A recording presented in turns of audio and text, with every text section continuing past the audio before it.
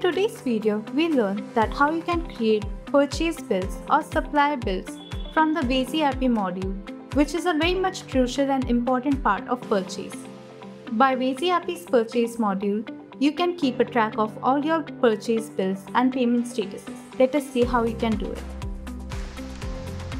Once you've already logged into your WazyAPI system, you have to click on Purchase, click on Supplier Bill, go to Create New.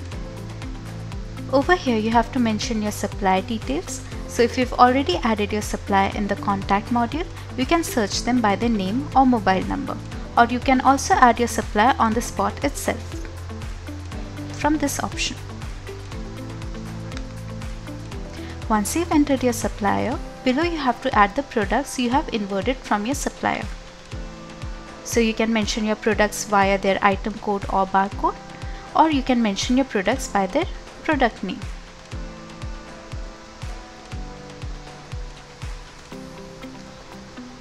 Once you've entered the product, when you click on quantity, it will show that how much available quantity you have at the store and in the quantity section you have to mention the quantity that you have inverted from the supplier.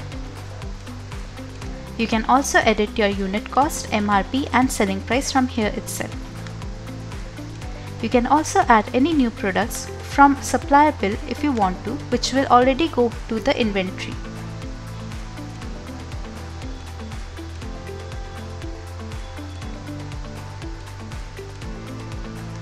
Once you've edited all the details, you can just click on save or if you've also made the payment for the same, you can click on save and payment.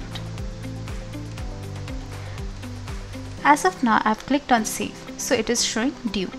For any further queries, you may contact us on the number mentioned in the description box and also let us know what more videos you want to see from Razy And don't forget to like, share and subscribe.